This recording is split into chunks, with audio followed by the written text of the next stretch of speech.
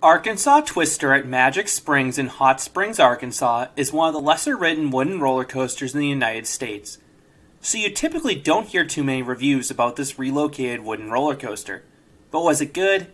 Eh, not really.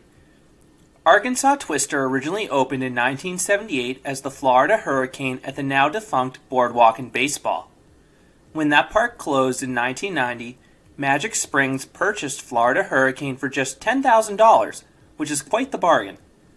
However, the total cost of the project came out to almost $900,000 for Magic Springs when you include the relocation and restoration costs.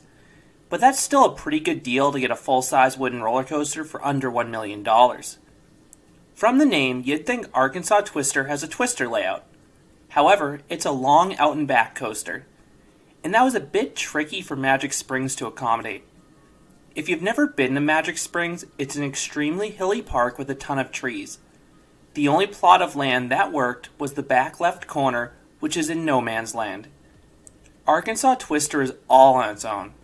To get to this coaster, you have to walk through their entire water park and head back towards the park's amphitheater. For this reason, the coaster usually opens about an hour after the rest of the park. It also did not have a line on the day I visited. The coaster's remote location also makes it near impossible to get off ride footage of this ride. The only parts of the ride visible from within the park are the 95 foot tall lift hill and the finale. The rest of the ride is deep within the woods. At Boardwalk and Baseball, this coaster ran with three bench PTC trains, and I believe it originally ran with those trains when it opened at Magic Springs in 1992. However, Magic Springs closed from 1996 to 1999, and when Magic Springs reopened in 2000, Arkansas Twister was running Gerstlauer trains. And I don't know if that's a good thing. People like to hate on the Gerstlauer wooden coaster trains, but in general, I don't mind those trains.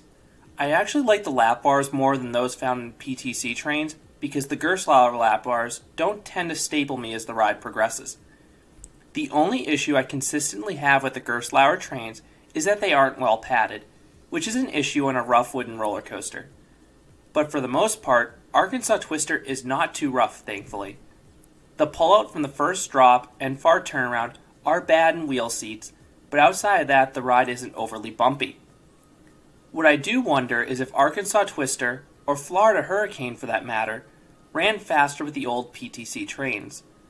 Arkansas Twister is an out and back coaster with one bunny hill after another.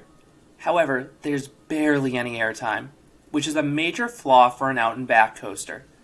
Many of the hills are way too drawn out to offer any airtime, even at the ride's max speed. But the train really crawls through the second half, exasperating the issue even further. Arkansas Twister begins with a 95 foot tall lift and a 92 foot tall first drop. The drop isn't super steep, but it gives a teeny tiny bit of airtime in the back row. But don't get used to that airtime. The first two bunny hills are far too drawn out to give any airtime. However, the first bunny hill at least banks to the left, so it offers some mild laterals. But the front row does get its first bit of airtime on the far turnaround. Front row riders get a tiny pop of airtime entering this element. That's followed by this exceedingly slow flat turn. It gives the turn on the Great America and Kings Dominion Grizzly coasters a run for their money. However, it actually helps Arkansas Twister because it gives you plenty of time to take in the amazing view. Magic Springs is in a really scenic area with the forest and mountains nearby. The drop off this turnaround gives absolutely no airtime, but that's followed by the best bunny hill on the ride. This one looks no different than the other ones, but it actually offers some weak airtime for everyone. That's followed by another drawn out hill that banks to the right, and much to my shock, this hill didn't offer any laterals. Rather, it offered a tiny pop of airtime for front row riders. Then comes one of the most comically bad elements on any coaster the 7 second camelback. Most of the hills in Arkansas Twister are on the smaller side, but I think this is the ride's third tallest hill after the first drop and far turnaround. Forget about getting any airtime on this hill. Instead, just pray you make it over this hill. You crawl over this hill. Just look at the POV. The train barely makes it over this element. And I'm sort of shocked an empty train can actually clear this element without valleying. That hill is then followed by back to back bunny hills that are completely free of airtime, but at least you don't have to worry about valleying. Then comes the second turnaround. In off ride, the entrance into this turnaround looked really interesting. The top of the turnaround had one of the sharpest crests I had ever seen atop a hill on a wooden roller coaster. I held out hope in my head it would offer some really abrupt ejector airtime, but then I saw the trim brake. However, the top of this hill is so sharp that even a decelerating train still gives a tiny pop of airtime for front row riders. Then comes the finale, which is laughably bad. The train lumbers around this long flat turnaround before hitting a straightaway. And this straightaway is probably the roughest part of the ride. Thankfully, the train is traveling so slowly that it doesn't hurt. Instead, I found myself laughing at a piece of track that was so straight and so slow could be so bouncy. So, what would I rate Arkansas Twister? I'd give this coaster a 4 out of 10. Arkansas Twister isn't bad.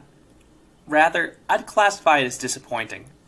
The coaster has the stats of a thrilling wood coaster. The ride is almost 100 feet tall and nearly 3,300 feet in length. But it rides more like a family coaster with the lack of airtime. What I do give the ride credit for is its excellent setting. I love the views the coaster provides of the surrounding area, and you feel really isolated in those woods. Those are my thoughts on Arkansas Twister the only wooden roller coaster in the Razorback state. What are your thoughts on Arkansas Twister? Or do you have memories of the old Florida Hurricane when it was at Boardwalk and Baseball? I would love to hear your comments down below. If you enjoyed this review, I'd appreciate if you gave this video a like and consider subscribing because there will be a lot more roller coaster and amusement park videos here at Canobie Coaster. Thanks for listening.